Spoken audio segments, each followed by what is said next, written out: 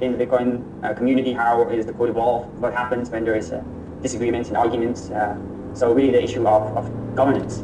And uh, I think yeah, it's a very important issue to think about and it's certainly not going to get easier from here on. So before we dive into that, do you have a definition of governance? Um, yeah, I've, I got some flack on Reddit and Twitter for talking about governance in a very kind of broad way. And when I say governance, I don't mean government. Uh, I think we're governed by all sorts of things. You know, we're governed by our government, we're governed by the laws of physics,